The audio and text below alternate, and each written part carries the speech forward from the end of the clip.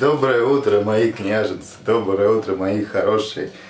Сегодня у нас, как вы все знаете, прощенное воскресенье, поэтому, мои дорогие, простите меня, пожалуйста, когда, у кого я когда-то обидел, либо что-то не то сказал, либо что-то не то снял, а может быть, как-то грубо ответил. Это все были провокации, провокации, это не считается. Ладно, мои хорошие, значит, сегодня я начинаю, как бы сказать, это не, не выживание, а, во-первых, сейчас мы посылочку я покажу, то, что получил от моей дорогой Людмилы. А, это сегодня как бы, ну не выживание, а будем мы с вами, как вот на посту, хорошо питаться, какие блюда готовить, а, потому что сейчас такое время наступает, когда многие постятся, многие, вот, конечно, вот как раньше, там, вот у меня там, ну, мама по сейчас постится, там, там, и еще там родственнички там постятся разные. То есть, а, как бы сейчас проблем нету. Везде много овощей, везде много ну, разных там и каких-то там консерваций, там уже готовые там и фруктов, ешь не хочу там, да, и печенье постные, и майонезы постные продаются, хотя я в это не особо не верю, потому что, ну как так может быть, что вот эти постные вроде как майонез обычный, и ешь постный майонез, и разница особо не отличается. Может быть, все-таки они там химичат из одних и тех же веществ, а только маркетинговый ход, не знаю. Ладно, сначала посылочки от Людмилы, моя дорогая Людмила.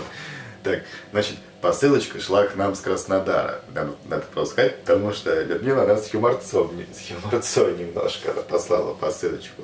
Посылочки, значит, была курочка еще Курочку мы съели. Ну, точнее, Катюху ведь не стала есть, она побоялась того, что курица пропала, но курица не пропала.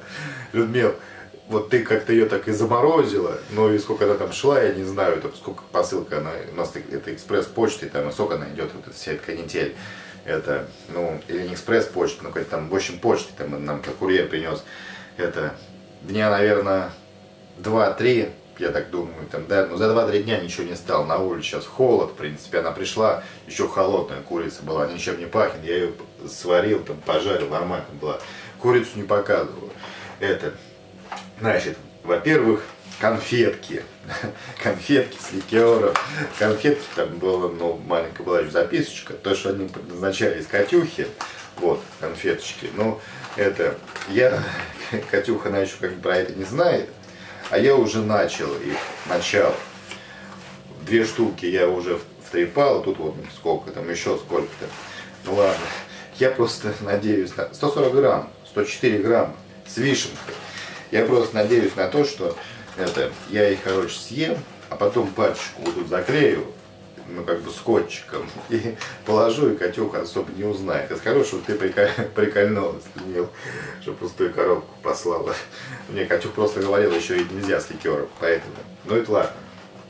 Но теперь самое такое, как скажем, хорошее, блин, я же в кадре чуть не лазил, вообще потолстел. Это самое хорошее, и чего я только даже не мог ожидать, вот реально вот от души, я вот хоть и в последнее время не пью, мне почему-то все дарят алкоголь, ну, в последнее время, да, но я вот не пью. Значит, а, вот такая вот штука, во, прям в коробке, вот так выглядит, и вот так, вот написано, как Рени, Реми, Мартин, Петит, Чемпин, Когнак, Когнак. В общем, это какой-то алкоголь. Сейчас посмотрю, что. Я вот ну, коробок выкинул, просто интересно, что было все. Это не стал распаковывать, это тут лежит уже хрен знает сколько, не, не неделю, наверное, посылку получил, как это. Но, думаю, открою, попожаю чуть. Вот такая защитная хреновина была, прямо очень хорошая. То есть, я вот теперь буду сам знать, кому буду посылки посылать. Я иногда посылаю своим родственничкам на Урал это, что, ну, никогда не, не знал, что можно бутылку переслать, ну, потому что думал, все разобьется. А это прям вот такая, как воздушная, прям, это, хорошая штуковина. Значит, а, посмотрим, что внутри.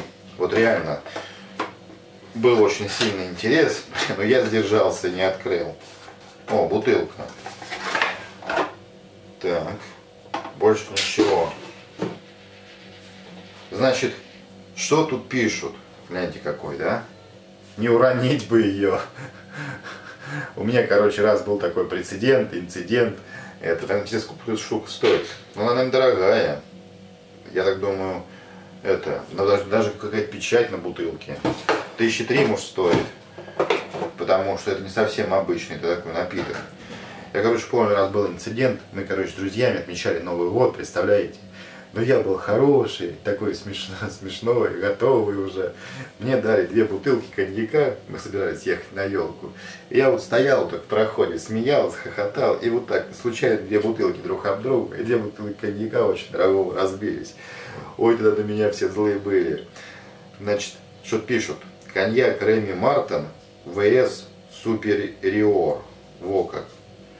Место происхождения винограда, регион, коньяк, субрегион ПТИ, Шампань, Франция, год урожая 2016 и старше.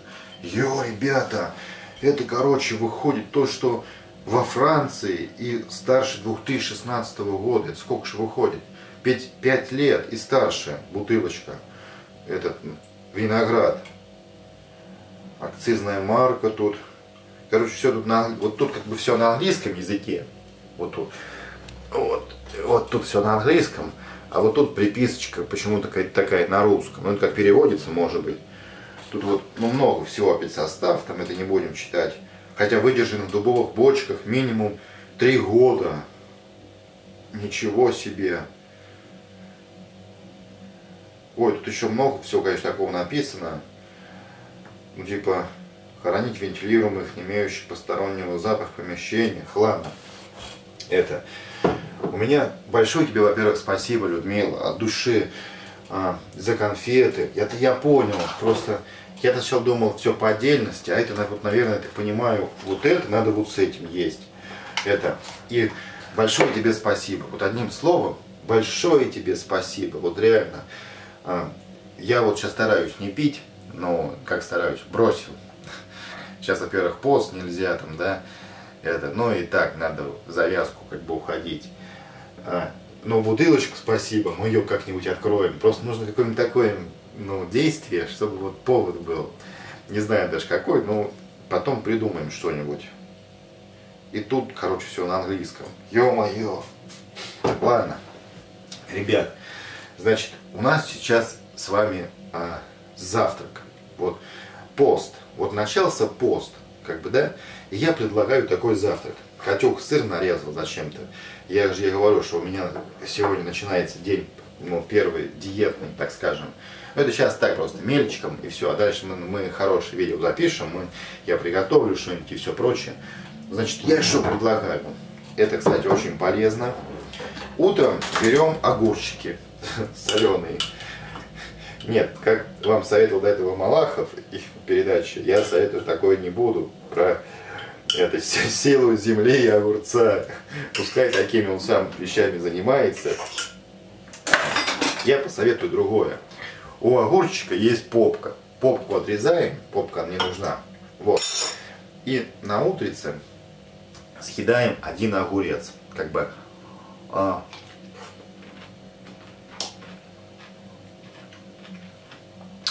О, хорошо.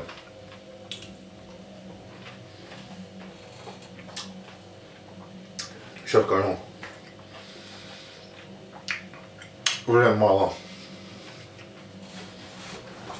В общем, съедаем огурец, запиваем чаем. Кого-то, да, кого-то в туалет пронесет. Ну, начнем наше утро с очищения.